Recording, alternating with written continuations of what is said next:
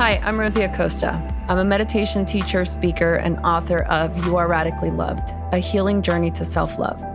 Look, I grew up in East Los Angeles during the 92 LA riots, and it set me on a troubled path. I didn't grow up with mentors in my life, so I turned to reading as many books as I possibly could to learn about the purpose of life. In my journey, I found that having these conversations gave me life, and I decided I wanted to create a place where I could share these conversations with my community. So come have a sit with me as we learn about, well, everything.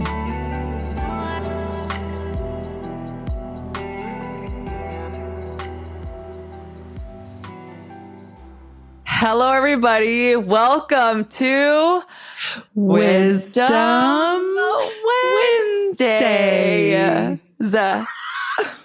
Here we are. I, I think we need a clap track here. Yes. There has been, it's been a while. We've not done this in a couple months. It's definitely due. We took the summer off and we debated whether or not we'd return to doing these segments, but due to popular demand, Here we are. here we are. There's so much to fill you in on everything that's going on. I just got a new job at Headspace. Another clap track. Another clap track. I will be expanding their uh, Hispanic and Latinx uh, content on the app. So I'm going to be really bringing some of that good, juicy culture, mindfulness practices. I'm really excited. Um, and they are, look, they're just a big, innovative company that is completely dedicated to uh, creating more equity in the space of mindfulness meditation and access you know so i'm super excited to be working with them. I hope that this is the beginning of a long term relationship. There's a couple of meditation singles coming out. I'm also uh, launching a beginner's anxiety course at the beginning of the year. So, really, really fun stuff to look forward to. So, very excited. Oh my gosh. That's huge. Yeah, I mean, Tessa, you know, I've been working on this for like well over a year. Yeah. so, so it's been it's been a process, but man, well worth the wait. And I, I've always said anything worth having uh, is worth waiting for. So I really am super stoked. But I want to be able to catch up with you. Tessa has had a very epic summer. As we all know, she loves going backpacking, and she just recently got back from Spain, uh, and I think was literally living her best life. Oh, it was so fun.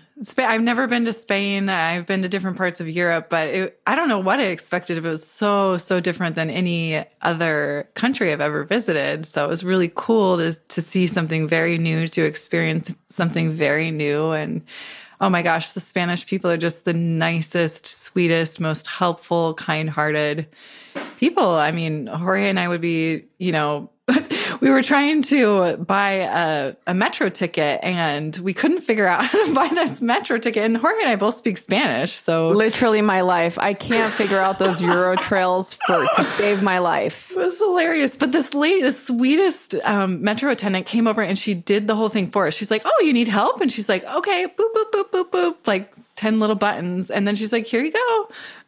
we're like, Thank you. it was so sweet. You're I muted. said that's the best, and I'd muted myself just because there's, con- just so you know, little disclaimer: there's some construction going on next door, and uh, you might randomly hear some power tools. So I've had a really intense couple of days. I've been working on creating a lot of this content uh, for Headspace and working on a, a bunch of other side projects. I'm a big fan of diversification, my friends. So don't get stuck nor comfortable doing just one thing. I think it's really important to always just be exploring different avenues that you're interested in. So, but anyway, I've been working on that. And I was just telling Tessa before we started that my nervous system was completely shot out. I was debating rescheduling our podcast because I was just like, I don't know if I could do it. I'm just so, I'm tired. And Tori was on his way to go pick up this U-Haul trailer to go pick up this machine that he just got for uh, for Red Monkey, and he found this little dog along the road. He said that this dog looked really disoriented, and he just kind of drove up next to him and saw that he just was kind of aimlessly walking around. And he kind of walked into the street a couple of times and it's a busy street. And so he pulled over and he was able to get him. And he he would he kept flinching. And then once he picked him up he obviously saw there was clear signs of neglect and potentially mm. some abuse. And so he grabbed him and he took a he was coming back to the house. He was literally maybe i don't know like four or five blocks away. And he called me and he's like uh, i need some help. And because he was supposed to go pick up this this machine thing like 40 minutes away. And so he i fortunately was done and he called me and he came to pick me up and we went to go get some dog food and we got a little dog bed and we called our vet. And man we really have the coolest like little enclave of dog and animal lovers because first of all we call our vet on our cell phone. Oh my gosh i love it. That's how it is. Mm-hmm. um calabasas animal pet clinic for any of you people in the valley is your go-to clinic by the way so we call her and she was like, okay, I'm busy right now, but come in two hours and I'll, I'll squeeze you guys in. So we went and we ran our errand and he was like shaking. You could just tell this poor little guy was just having a really hard time. And mm-hmm it's so hard for me to not go into that negative and angry energetic state of how could people do this how could people treat animals this way like what is yeah. wrong with people i just it really is you know everybody here you know this too tess you are the same exact way you know yeah. it's like if we can have animal sanctuaries and just you know have an endless amount of space mm-hmm. it's it, it would be done yeah. I was literally trying because I saw that actually Jorge showed me your story this morning and I was like, okay, so we're going to drive down to LA and go get Kramer, right? love it.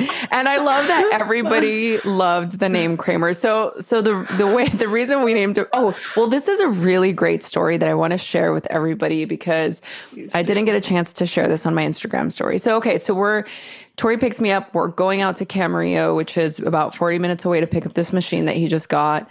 And we're trying to figure out like what his name is. We, the minute, look, great boy, like sweet boy. He's like, he looks like a small labradoodle type of dog, mm-hmm. kind of shaggy and, and just again, not, not, you know, well, well kept. And, of course, you all know I love little dogs. You know, my little Chewy, my little Shih Tzu. I miss him so much. I had him for a long time and he passed away almost two years ago.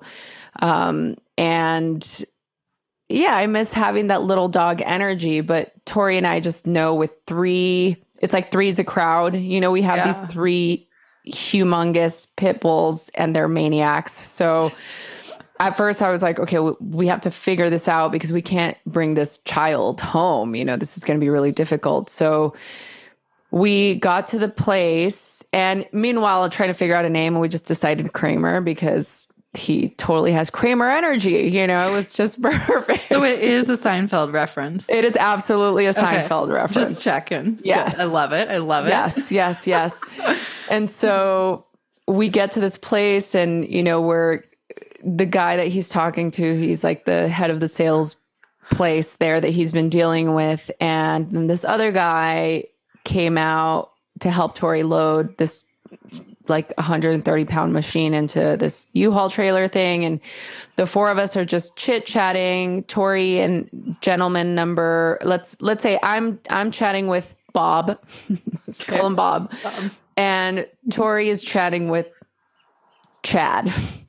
so so Tori's talking to Chad, having their own little conversation, and I'm talking to Bob, and we're talking about the dog and just finding this dog. And I hear Chad tell Tori that he used to play guitar. They're talking about guitars, and mm-hmm. you know, Tori works with all these rock stars and all these musicians. He makes guitar straps for them, and so they start chit chatting. And then I hear through, you know, because women we hear everything at all times, all the conversations.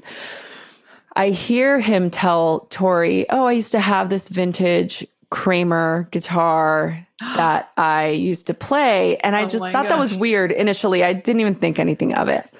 So then I'm standing there with Bob and I'm like, hey, Bob. Definitely, he's an older gentleman. He's retired, but he's just working this job because I think he knows the owner. And he says, like, yeah, he's like, no. He's like, my wife and I, honestly, we had a Labradoodle for 20 years and we just we were heartbroken when we we lost our dog and we just I don't think we could go through that again and I'm like, "Oh, that's too bad." You know, because he hmm. needs a home. And he goes, "Yeah." He's like, "What's his name?" And I was like, "Oh, we're calling him Kramer." And he goes, "That was my dog's name." No way. Yeah, and in that serious? moment, yes, when it all Oh came together, Tori and Chad, me and Bob just kind of stopped and it felt like everything just became so still. Wow. Yeah. so wild, right? I was Yeah. so like completely shocked and I'm like, this is meant to be. And then Tori and I, you're meant to, this is your dog. Like this whole thing had, this whole incident happened just the way it needed to. Tori was on his way back here, picking up the trail. Actually, no, he wasn't even coming back here. He was just going by here and he happened to find him on his way after picking up this trailer to go pick up this machine. And, you know, he picked me up. And then in the car, I decided this is Kramer. And then we get to this place, whatever. Anyway, so he's, he took a picture of him and he said, let me talk to my wife. I, I don't know. I, I can't obviously give you any answers. And Tori and I just said to him, listen, we are going to take him to get uh, checked out at our vet now, and we're we have a grooming appointment for him already. Just let us know. I'll post it on my stories, and we'll just ask some friends to see if we can home him. So I came back. We came back here, and obviously we can't just leave him outside. So we have to introduce him to the dogs, whether we like it or not. And mm-hmm. you know, we introduce them one by one on neutral territory, which is how you're supposed to introduce dogs, according to Cesar Millan, who I watch I every love Cesar. Oh my gosh. Yes. Continue. so yeah so then and and they you know chowder was a little bit more excitable. I think chowder gets he's the black and white one for those of you who who don't know the the difference in rosie's the white and brown one and brink is the brown the light brown one. So Chowder is our spoiled child we've had since he was like five weeks old, and he doesn't know a day of hard life in his entire life. And he's very um, jealous. Like, even when Tori and I hug, he starts crying, like, cannot stand anybody getting it. It's the worst. We are the worst parents. Like, there's oh. no discipline. It's it's tough. It, it honestly most of the time it's not an issue. It's only an issue when there's other dogs involved. Obviously, you know we we don't want him to be the asshole in the family, but he is. And so we were mostly concerned with him because Rosie's so good with dogs, big dogs, little dogs, and Brink is so old and he's our handy capable dog, and so he just doesn't give a shit either. So met them totally fine. And then Chowder was a little excitable, but he chilled out after a while. And then we brought him into the house and then we brought him into the backyard and then it was totally fine. We obviously still kept them separate just because, you know, we don't ever want to leave big dogs with little dogs. Um, and yeah, but everybody was fine.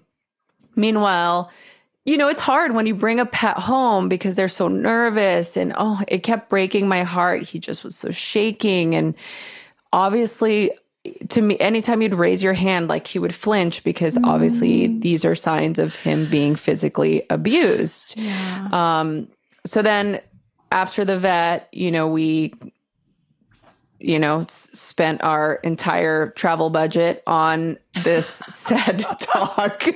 Um, but it didn't matter, you know, because he he needed help. He had a couple of he he had both of his ears were infected, and we did blood work and everything. So then we come home, we do the whole thing, and we're just yeah. I posted it on my Instagram stories looking for a home, and I want to thank any of you who follow me on my stories and responded with offers of food, offering to send money. Like that is so nice. Um, p- uh, offering to foster, um, offering sound baths for the anxiety. Oh my gosh. Somebody yes. did. I'm like, this is my people. This is my community. So uh, thank you to all those all of you who who offered that and who were uh, I did get a, a couple of people asking me to post it on my grid to so that they can share it. But just a couple hours later, we got a text message from Bob saying that he wanted to take them. Yay. Oh, So- what a love story. I Oh. love this. Sorry it was so long winded, everyone, but I needed to share. Oh, that was I love that's such a feel good. I mean, we could all use that, right? Such Yes. a feel good, happy ending. Oh, that Take- soothes my soul. Oh, good. Take me to a happy. Whose tail is that? I can't see. This is a Beha. She's our Oh, little star. oh, there she is. I can only see the little tiny thing. And I'm like, what is that? I don't have my glasses. She's on. the one that always shows up when Oh. we start recording. yeah. She Only when we the- start recording. Yeah, she, She is the camera hog. She wants Yeah. to be on camera. Does. So, I mean, I think if I'm going to look for the wisdom in that, and I'm curious to hear what yours is, is I think sometimes you just need to be of service and not worry about what the outcome is going to be because sometimes thinking about the outcome can keep you from wanting to lend a helping hand. Um, you know, I've been in situations where I've been in a car and I see somebody that's living on the streets and, you know, I'm trying to get some change or I'm trying to get something and it's like, oh, it's too late. And then it passes and then it's out of your mind. You know, it's like you kind of go through this experience. And sometimes for me, it's just an acknowledging, like just looking at the person saying, like, I'm really sorry, I don't have anything to give you. Um, just to make them feel acknowledged, you know, Mhm. and I think oftentimes we turn the other way because maybe we're on our way to work and we can't stop to save that kitty on the side of the street or um, we find a dog and it's like i don't have a leash in my car or i'm Mhm. just i have to get go pick up my kids like somebody else will do it and i want us to all consider that maybe you are that someone Hmm.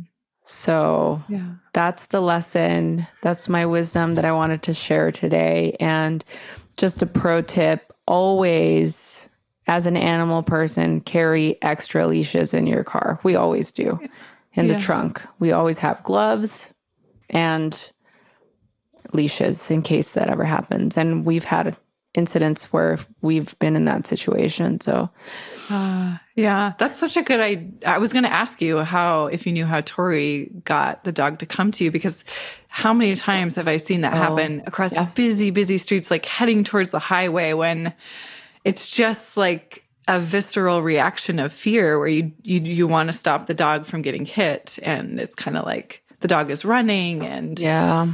You know you try to get it to come to you and it's so scared that it won't come to you do you use treats Yeah, we have we have doggy treats in the car. We have uh, a couple of leashes. We have do- like gloves, like thick gloves, you know, for like bigger dogs. smart. Obviously, you don't want to Yeah. get bit or anything, and that's really, you know, it's like to each person. If you're see, I'm comfortable with big dogs because I have big dogs. So for me, it's easier to sort of gauge the situation. And if they don't come to you, it's hard if they're running away, obviously. And yeah you know, there's been times where I've this is not i don't recommend this for people but i've gotten out of my car and parked it put the emergency lights on and try to like tell cars to stop but that Yeah. could be dangerous for a person too and i mean tori's yelled at me a couple of times for doing that you know because it's just like i personally have just such an instinctual so part of what happened yesterday that had my nervous system all shut out is we had him in the backyard and he I think he's a little bit blind on one eye.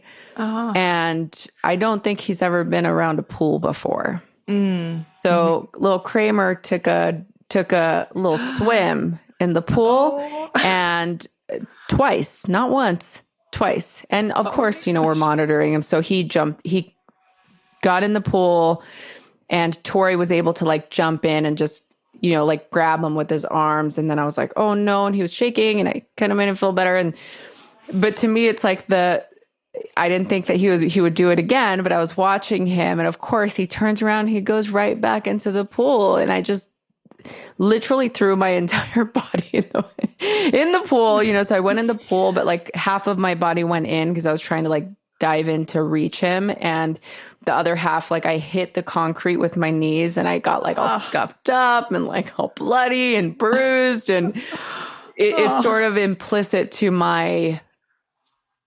reactiveness that I think you know it's like I could have just paused for a moment and just like gone in and grabbed him and and it would have been it would have been fine but i think it's sort of that same instinctual reaction that i have if i see a dog running on the street especially if it's a busy street it's like you have to make sure that your safety your your safety is not in jeopardy when you're doing that but Yeah. yeah, I recommend having those those items, always knowing what's around you, always knowing there's a vet around you, where the Humane Society is, you know, just having those numbers on your phone. Because yeah, mm-hmm. sometimes if if you're on your way to work and you have a boss that doesn't love animals and doesn't care whether you're and you're already late and it's just a thing and you're trying to just talk yourself into not doing it you know, have a friend's number or somebody that you can call to say, hey, you know, I found this dog. Can you watch them until whatever? Like, I feel like most people are pretty accommodating when they're told what to do. Haven't you ever hmm. heard that?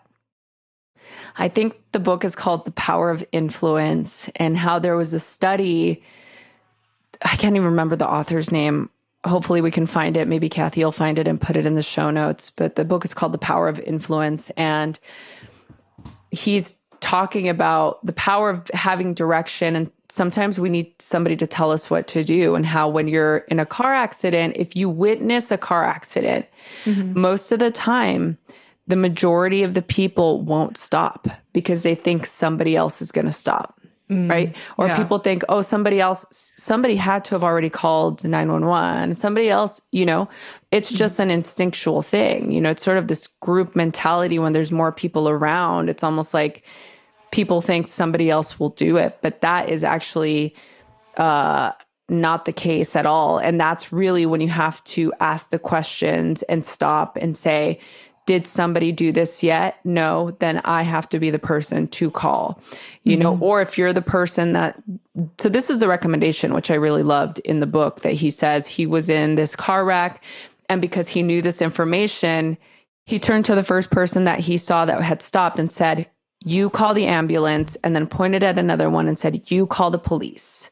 So it was like this, and you grab a, a jacket to cover this person. You know, it's like people are in shock, or if there's something that happens in in that capacity, people need to be told what to do. Yeah, You know? totally. So it's I think like there are those personalities that will react in that way instinctually. They'll start directing people, and there are those of us that will freeze.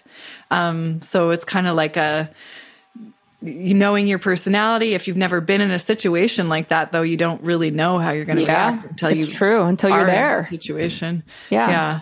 But that's such good advice. I think when I when I was listening to you talk about this story and you brought up Cesar and I just I love animals. I mean, you all know I my cats, my dogs, they're my babies, they're my fur babies. I feel like they're my children. And I think about it, people and neglect and clear signs of neglect and clear signs of um, animal abuse obviously that's such a heartbreaker and i can't even like really fathom how that happens but it does and so i always think about when you're making the decision to uh, adopt an animal or to buy an animal whatever the case may be think about like your lifestyle and um, you know take that moment to really think does this make sense for me? Is this a breed? Like get to know the breed. If it's a dog what kind of exercise do they need? What what kind of behavior do they tend to have? And understand how your lifestyle may or may not fit with that also something that Cesar talks about because certain animals need like X amount of exercise uh-huh. per day, right? Yeah. And if they're having bad behavior, it's usually a function of them releasing stress that they haven't been able to release because they aren't getting exercise or even mentally stimulated properly. I mean, I adopted Bella, who's a German Shepherd, and I could exercise her all day long, but she still needs mental stimulation because she's so smart. Um, for her to, to not have that adverse behavior. So you really have to understand like what kind of breed you're thinking about bringing into your home. Um, and does that fit with your lifestyle? I mean, yeah, this is a, a living, breathing, sentient being that's going to have feelings. And if they're doing something that you don't like, it's usually to get your attention. So you might want to think about what am I doing that could be, you know, how could we um, positively influ- influence the situation? If you don't know about the dogs, then work with a trainer. I mean, really, truly think about working with a trainer because that has changed my life, Bella's life, our family's life for the better. We got to know so much about her and how to just take her for a walk because that was feeling like really stressful at first. So, yeah, just get to know your breeds and, and really think about lifestyles. That's my wisdom.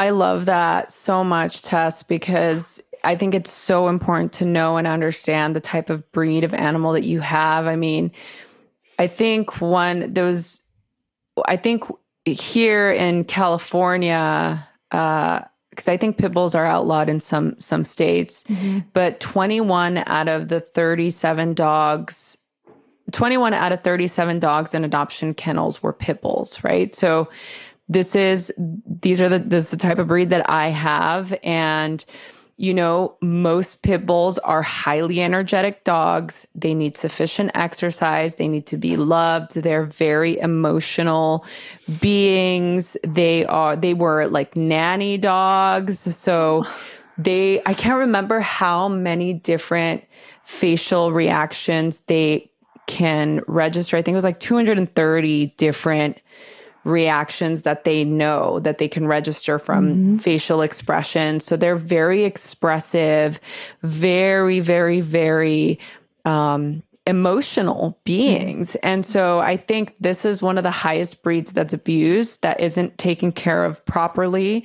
People think, oh, I'm going to get a pit bull because I want protection or I want, you know, to look cool. I don't know whatever the mentality is, but I think people realize that they're cute or they're cute puppies mm-hmm. and then they get big and it's like okay now i live in a small space and i can't i don't have time to walk them i don't have time to take care of them and so i think this is one of the biggest biggest issues you know mm-hmm. and look this is going to be really unpopular and i hope you know I was gonna say I hope I don't get canceled, but you guys know how I feel about fucking being canceled. I don't fucking care. So, um, but what really drives me crazy is when parents decide to get their children animals and then realize how much work it is. And I, I think it's smart when you do it to try and teach kids about taking care of their pet, but realize that you are the adult and that's still your responsibility, not your child's responsibility. I say that because I've been in situations where I have friends that have done this for their kids and then expect their kids to pick up their poop and play with them and you know do all the things. And I'm like dude don't put that responsibility on a child you know? So mm-hmm. that's the one thing that I will say parents if you are introducing an animal to your household with little kiddos I think it's important yes to teach your kids responsibility but remember that this being is like having another child It's mm-hmm. like if you have two kids and you want a dog, you're essentially getting three children. So yeah. I think it's very important to recognize the sort of res- heavy burden and re- not even burden because it's such a joy, right? But like the responsibility, yeah. the yeah. great responsibility of having an animal. So, wow, how intense. I wish I had no idea this was going to turn into an animal lovers episode. I hope that you all enjoyed this conversation. And look, we're so happy to hear what your thoughts are and maybe any experiences that you want to share. Any great experience, happy experiences that you've had saving an animal or if there's organizations that you work with or you know of that we can uh, add to our resources or add to the resources page of this podcast, please let us know. Um, as always, it's such a pleasure and privilege to be here with all of you. Tessa, thank you so much. Mm, it's my and pleasure. Thank you. We will be back next week. Thank you so much for listening to the Radically Loved podcast. Please remember to subscribe, rate, and review wherever you get your podcast, and follow us on Facebook at Radically Loved Rosie, on Instagram at Rosie Acosta, and Twitter at Rosie Acosta. By the way, this is original music by DJ Taz Rashid. You can follow DJ Taz on Spotify and check out the best music for yoga and meditation. This has been a Mod Pod Studio production. Check them out at www.modpodstudio.com.